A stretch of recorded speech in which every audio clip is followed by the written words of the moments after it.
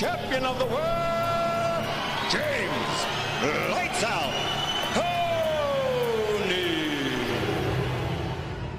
So you think you I'm could the, se- actually I'm, the beat se- Lennox Lewis? I'm the seasoned pro. I know how to fight. I'm a complete fighter. And do you think he's the best? No, I'm the best. I'm better, but you know what? Time will tell. I'm ready for anybody. I'm coming. I'm the man in the heavyweight division. If y'all want to get the belt, y'all come see me. IBF. James, congratulations. Yeah. Nobody taught me how to fight.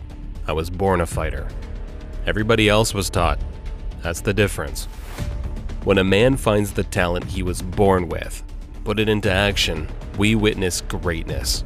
When you think of the brightest pugilistic talents to step into the boxing ring without a doubt, James Toney comes to mind. A man with rage in his heart and unwavering confidence in his love for violence. James Toney represented a unique blend of an old school boxer and a new era brash boxing star. Few men have made a legacy like him in the ring, spanning three decades and five weight classes than the defensive genius James Toney. Sit back and let us take you through the rise and struggles of James Toney.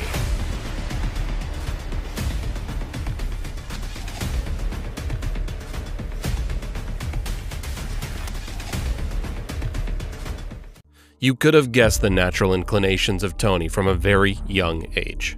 The product of a broken home, as has been the case in many successful fighters, Toney grew up in violence. His father regularly beat his mother before leaving for good when his son was only 19 months old. Nicknamed Lights Out as a teenager, James played American football, where his talent shined. But an ankle injury, a violent altercation with his teammates, and the advice of his mother to pursue fighting drove him to focus solely on boxing. Descriptions of lights out very often include the term old school. His mentality was undoubtedly that. He would fight anybody, anywhere, anytime. He always enjoyed the toughest challenge, unlike many boxers today who include a lot more politics in their matchups. Especially early in his career, Toney fought at an unparalleled frequency, much more akin to his old time idols, Ezzard Charles and Archie Moore, and always against the toughest opponent he can get. Toney's violent nature and rage spilled well outside the ring. He often had outbursts of insults and sometimes physical attacks in press conferences and weigh ins against his opponents. But this also gained him notoriety in the media in the 90s. His outspoken persona was the stark contrast to the well educated boxing style he had.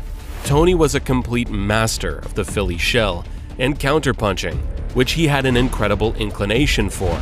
He attributes his finer skills in the craft mainly to the training of Bill Miller, whose teachings were very 1940s like. He only knew one way to prepare for fights, and that is through fighting. Toney would spar hundreds of rounds in preparation for a fight and had an obvious disdain for everything else like road work or cardio. His sparring sessions in Kronk Gym became infamous through the internet with their intensity. We inevitably begin with the fight that made James a star. Just in his third year as a pro, and already with 26 fights under his belt, he was matched with IBF and lineal middleweight champ Michael Nunn, who was also ranked number 3 in the P4P ranking. We can't leave out the problematic weight cut for Toney, which became a constant struggle through his entire career that would send him all the way up to heavyweight. Entering the fight as a 20 to 1 underdog, Toney was supposed to be the homecoming title defense for Nunn, and the first couple of rounds looked exactly that. After five rounds, Toney had begun to take over the fight, and his intelligent slipping and punches to the body started to take effect. The dramatic upset came in the 11th round. Still losing on the cards, Toney launched a perfectly placed left hook that floored Nunn and won him his first middleweight title. Michael, we've got a Nunn. new IBF middleweight We champion have of a the new world. IBF middleweight champion of the world, James. Amazing, Tom. Lights up, Toney. Unbelievable. Toney kept his busy pace and fought three more times against the steepest competition in 1991, making it his poster year, where he won the Ring Magazine Fighter of the Year award.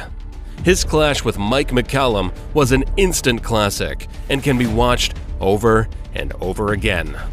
The two men fought to a draw the first time, but Toney put a stamp on their rivalry with a clear decision in the rematch just a year later. After defending his title six times, James Toney's problem with weight was becoming too much. So he made a move to the super middleweight to challenge Iran Barkley for the title. This was to become one of Toney's finest performances, displaying a stunning compilation of speed, precision, and power. Lights Out disfigured Barkley's face, landing an astounding 400 shots within nine rounds. ESPN commentator Barry Tompkins described the performance by James Toney as as close to perfection as you can be in a boxing match.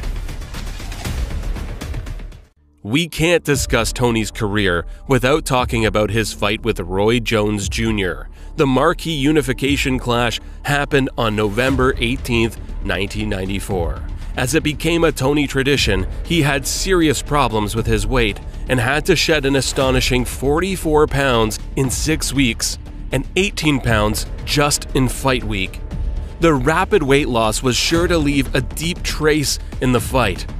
Toney was sluggish and didn't manage to get going at all.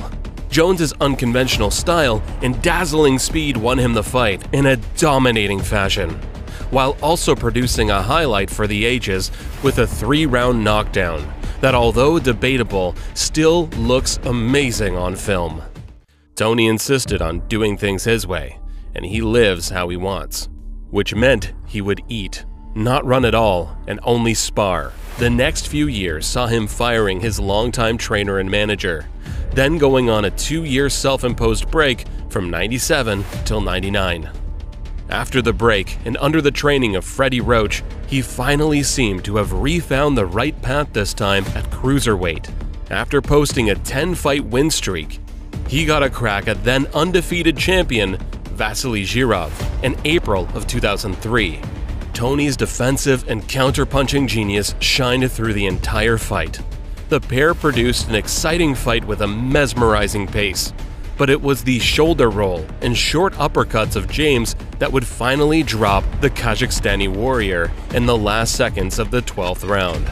As dramatic as it gets, Jirov made the bell, but the fight and the cruiserweight title were awarded to Toney. James's final great fight was his first at heavyweight. He faced an all-time great in Evander Holyfield. Although past his prime, Holyfield was still a top contender and his legendary toughness made him very dangerous even at 40. Even at heavyweight, Toney demonstrated great hand speed and impeccable defense, which were way too much for the veteran. Holyfield's corner decided to save the man from himself and threw in the towel in the ninth round. This is how Toney won his second Ring Magazine Fighter of the Year award 10 years after the first one. What's right here, Evander? Tell us what's going through your mind here. is that he don't hit hard enough to. Uh, James Lights Out Toney always did things his way, learning the finer points of boxing while enjoying the finer things in life.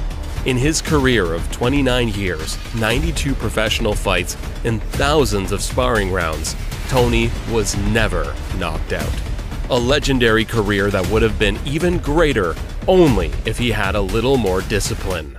James Toney is a shining example of a man born to fight.